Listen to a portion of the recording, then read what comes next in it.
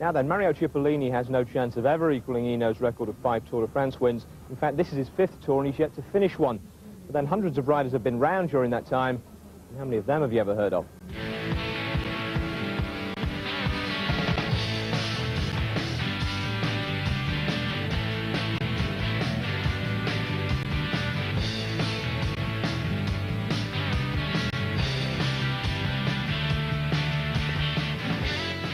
In a sport populated largely by stoics, the occasional wide boy is bound to stand out. And with his cormorant wingspan, big screen grin and general Jack the Lad outlook, Mario Cipollini ranks fairly wide. Not many riders wear loafers on the treatment table, and no one to my knowledge has ever taken the podium before in a white suit and cowboy boots. But then Chippo's riding ability is almost eclipsed by his marketability. This advert's for cycling shoes, in case you're wondering. And at home in Italy, Mario even gets TV spots endorsing his team sponsors' coffee machines. Buona idea un caffè. In casa ci vuole secco. Not exactly evidence of a career in acting once his day job's over, but for the moment, Chippo's happy making the most of the spotlight he's got.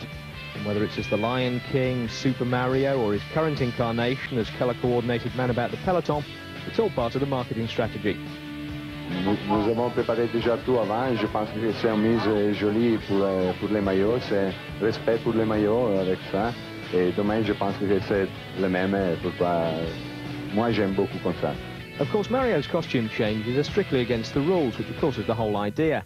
His two days in head-to-foot yellow, along with the stars and stripes shorts he modelled on the first stage, mean that he's now leading the race on time, points, publicity and fines. Nous avons gagné deux étapes. Déjà, nous avons déjà pris beaucoup de primes. Hein. Alors, il a la possibilité de payer l'amende. Nobody questions Cipollini's supremacy in the sprint, but his ability to go the distance has always been suspect. His previous tours have been one-week French holidays. Turn up, win a couple of flat stages, then get a note from the team doctor once the going gets diagonal. For this year, Chippo's in possibly the best form of his life. He won a record five stages in the Giro, including the final one, and fancies doing the same here. Un rêve de la vie, de la vie de, de le sprinter, gagner à Paris avec le maillot vert, sans le maillot vert.